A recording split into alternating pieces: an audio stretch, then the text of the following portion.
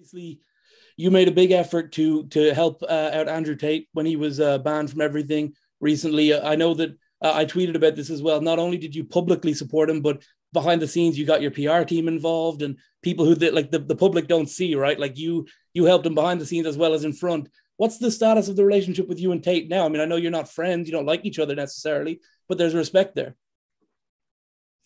Yeah, there's definitely respect. I, I think we just happened to have the same PR person. It wasn't like me. Oh, right. Okay.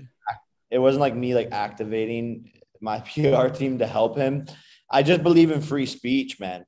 And uh, even though I would love to knock him out, even though, you know, he says crazy things about women, um, I do believe that everyone has a right to, to voice what they have to say.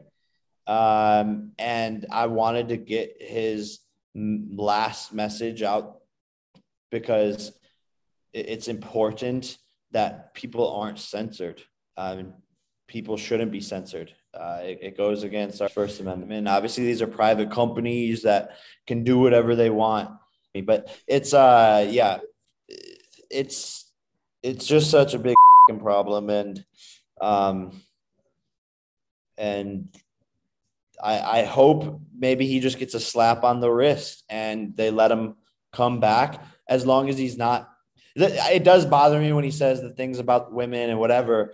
Um, but everyone should be able to learn from their mistakes and be able to get a second chance, right? That's what the whole justice system is about. Um, so hopefully he, he can you know, find a way to make things right with these platforms and uh, and go from there. I don't, I don't really know. Thank you.